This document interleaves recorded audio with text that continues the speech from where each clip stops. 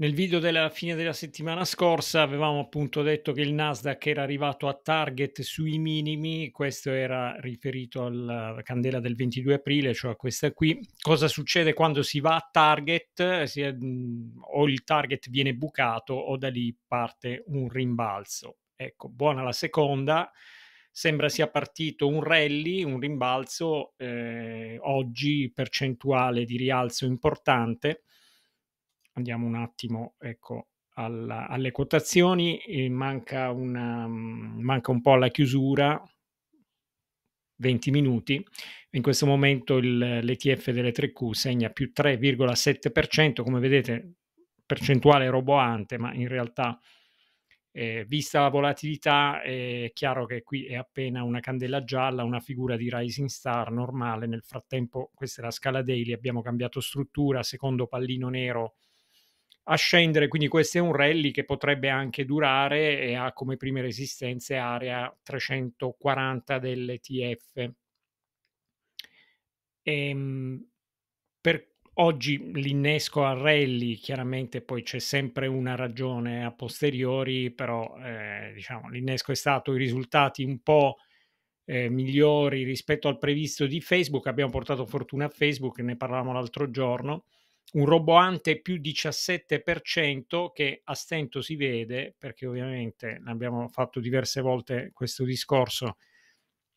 quando le discese sono importanti, cioè Facebook ha perso il 50% del suo valore dal mese di settembre, è chiaro che poi basta poco per fare percentuali a due cifre, però come vedete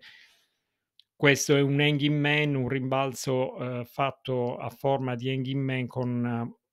picco di volumi, quindi anche abbastanza vendite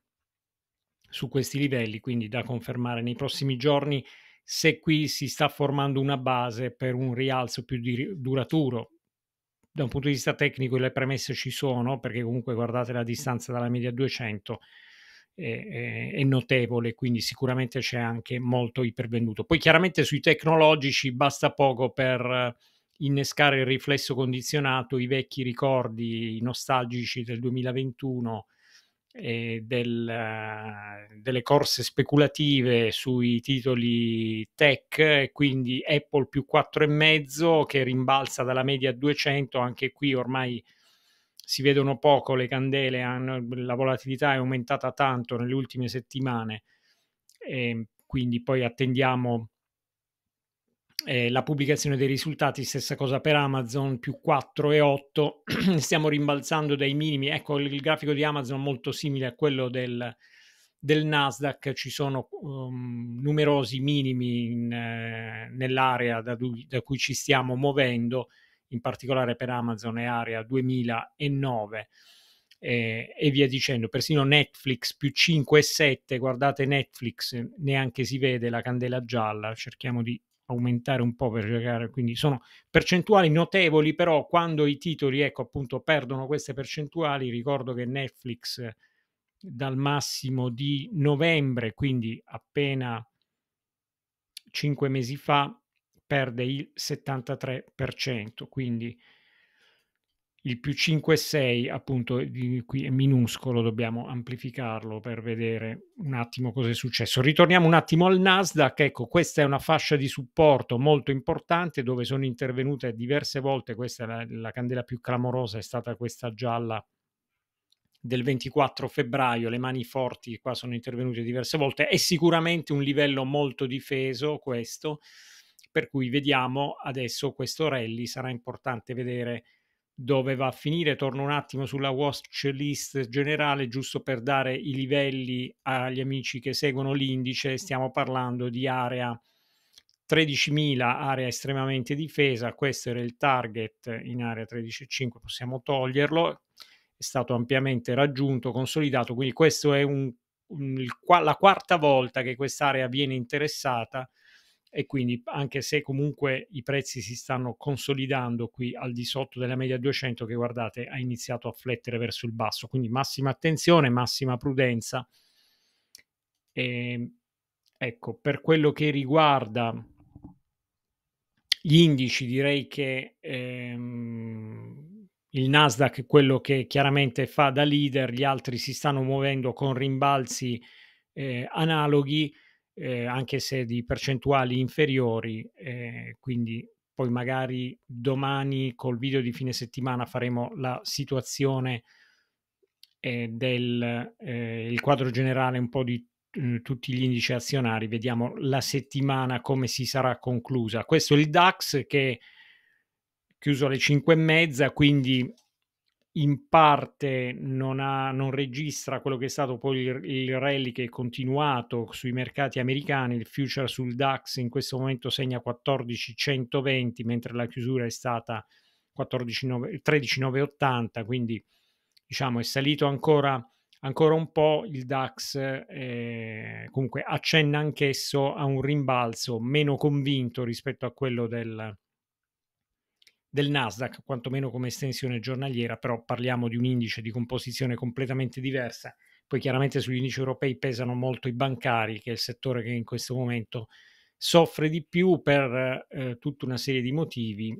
eh, compreso quello delle tensioni geopolitiche e della possibilità di un rallentamento dell'economia Passerei a questo punto al, ai cambi perché l'euro-dollaro ha registrato i nuovi minimi, continua, ecco, quando vi dicevo, quando si raggiunge il target o lo buca o da lì poi, ehm, appunto, essendo un, un, livello di supporto può partire un, riba- un rimbalzo, ecco, questo è l'altro esempio, invece il, L'euro-dollaro è andato dritto come un fuso, ha bucato 1,06 e non accenna a fermarsi. Anche oggi abbiamo toccato nuovi minimi, abbiamo visto 1,04. Parimenti lo yen giapponese meno 1,8, lo yen è un ribasso eccezionale perché qui addirittura dobbiamo andare su scala mensile per renderci conto di cosa sta succedendo. Qui stiamo andando a toccare i minimi a 20 anni, perché è dal 2002 che non si vedevano questi livelli. Quindi avvenimenti importanti che chiaramente sono eh, anche dettati dal differenziale sui tassi che in questo momento è molto elevato tra gli Stati Uniti e il, l'area del Giappone e l'Europa. Eh, passerei adesso alle richieste. Eh, allora, ne abbiamo tre riferite a due indici azionari, due a titoli azionari e una al petrolio, quindi a materie prime commodities. Una United Health, titolo americano di larga capitalizzazione, molto importante, titolo difensivo, settore salute, come tutti i titoli difensivi, abbastanza battuto ultimamente. Direi impostazione ancora eh, positiva nonostante gli strappi delle ultime settimane. Ehm, abbiamo, sta rientrando la DX dagli, dai recenti massimi, però abbiamo una ripresa dei prezzi proprio sulle resistenze in area 500. Direi all'amico di tenere d'occhio questa fascia che ho segnato in giallo perché qui ci passavano 3-4 massimi precedenti che sono stati rotti a rialzo. Ecco qui la configurazione tecnica, la rottura a rialzo alla fine del mese di marzo, test dell'area che a questo punto ha fatto da supporto, ripartenza verso l'alto. Questo è un ulteriore test e questa è una configurazione rialzista. Qui in alto però segnalo che abbiamo un triplo top sul candlestick molto importante. Il triplo top dato da due bearish engulfing, questo qui dell'8 aprile, il, quest'altro bearish engulfing del 21 aprile e in mezzo una shooting molto importante con picco di volumi. Quindi, secondo me, quest'area 5,40 non sarà facile da superare. Ecco, questo è un po' il, il quadro su United Delta, anche perché appunto veniamo da un rally eh, importante delle ultime settimane, degli ultimi mesi, quindi si comincia a configurare anche qualche divergenza sugli indicatori. Divergenza che è molto più marcata su un altro titolo che ha corso tanto ultimamente, che è ExxonMobil, settore quindi energia. E qui gli indicatori, ecco, faccio vedere, stringo un attimo per far apprezzare meglio. Guardate il DMI positivo che è il giallo, ecco, a partire dopo il breakout del mese di gennaio 2022, un breakout con volumi, ha fatto segnare livelli di 46 che poi nei successivi massimi non sono stati più raggiunti, anzi abbiamo ogni volta in concomitanza di un nuovo massimo avuto un DMI positivo più basso, compreso l'ultimo top, questo del 21 aprile, che ha fatto da doppio massimo con questo buying climax, quindi questo, questo è un classico movimento parabolico con picco di volumi di esaurimento, almeno temporaneo, del movimento, quindi poi siamo andati a ritestarlo e qua sta partendo il terzo tentativo di superare area 90 con una situazione tecnica deteriorata. Quindi eh, da un punto di vista tecnico, qui eh, se dovessi eh, dare delle percentuali, direi che molto più probabilmente eventuali nuovi massimi che sono possibili in questa fase, anche perché abbiamo la volatilità che è notevolmente aumentata rispetto, guardate la grandezza delle candele come era a ottobre, si vede a occhio, comunque poi basta mettere una TR sotto, si vede, lo dice anche l'indicatore guardate l'ampiezza delle candele, parlo proprio della, della dimensione delle, delle, del body e guardate la dimensione dei body qui. Questa è una eh, indicazione di il mercato non sa più dove è il valore. Quando la volatilità aumenta in corrispondenza dei top, bisogna essere molto prudenti. Ecco, quindi ehm, nuovi massimi sono sicuramente possibili. Ehm, che da qui continui un movimento esteso eh, ho qualche dubbio. Direi che le probabilità maggiori sono per una fase laterale, eh, anche se chiaramente qua per fase laterale comunque eh, tra i supporti in area 77 e, i, e le resistenze in area 90 eh, ci passano svariati punti percentuali, quindi sono movimenti molto molto ampi. Se andiamo a stringere il quadro, ecco qui si apprezza meglio il movimento parabolico, l'allontanamento dalla media 200, questi sono tutti indicatori eh, di, di, stress e quindi di probabilità che poi ci possano essere dei movimenti eh, correttivi che non è detto che avvengano poi con dei piombi dei prezzi, eh, molto spesso i movimenti correttivi avvengono con appunto movimenti laterali prolungati nel tempo.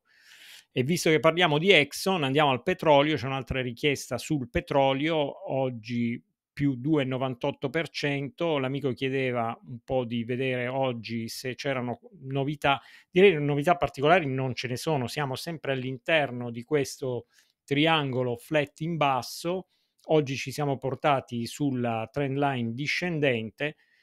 eh, quindi da tenere d'occhio sul petrolio, qui ci sono delle chiare configurazioni candlestick, a parte il mega bearish engulfing, guardate l'estensione di questa candela nera del 9 marzo che è andato, ecco, quando questi top a torre, come ho detto tante volte, questi poi sono, non sono facili da risuperare a rialzo, eh? quindi questo è un, eh, un, un, movimento che quasi sempre, che è quello che è successo, poi fa partire come minimo un movimento laterale prolungato. Quindi poi in seguito abbiamo avuto un altro bearish engulfing qui il 23 marzo e una eh, evening star classica uh, perfetta il 19 aprile quindi con massimi decrescenti quindi queste sono indicazioni ulteriori di indebolimento tecnico quindi direi l'amico che bisogna controllare area 109 113 che sarà la, una resistenza importante e, e, sarà il primo ostacolo da superare poi per tentare eventualmente il test dei massimi. Però fino a quel momento la tendenza in questo momento resta e questo ce lo conferma guardate i due DMI eh, la DX bassissimo quindi la, dire- la direzionalità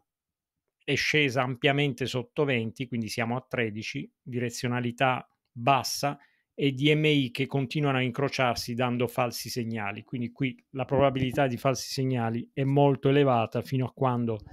da un punto di vista tecnico non avremo segnali più chiari. Va bene, siamo a 15 minuti di video. Grazie dei like che lasciate su entrambi i canali, su TradingView e su YouTube. Lasciate come sempre nei commenti eventuali segnalazioni di situazioni interessanti, così poi le guardiamo assieme nei prossimi video. Non perdetevi il video di fine settimana, non so se lo faremo domani sera, più probabilmente sabato mattina, perché poi tiriamo le somme, attendiamo le ultime trimestrali che sono in uscita fra oggi e domani, questa era la settimana dei fang e così poi facciamo un punto di situazione e di preparazione per la settimana prossima. Grazie ancora dell'attenzione e buona serata a tutti.